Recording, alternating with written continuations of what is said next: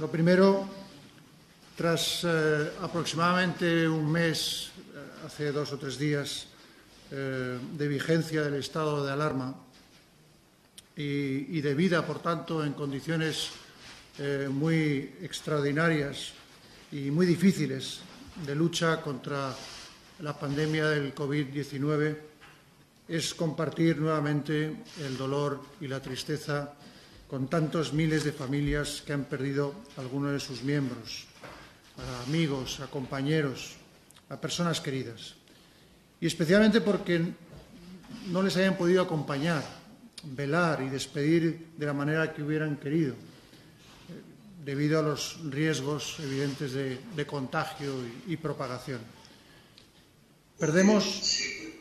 perdemos a tantos y tan rápido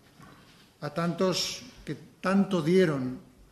por ver nuestro país prosperar vivir mejor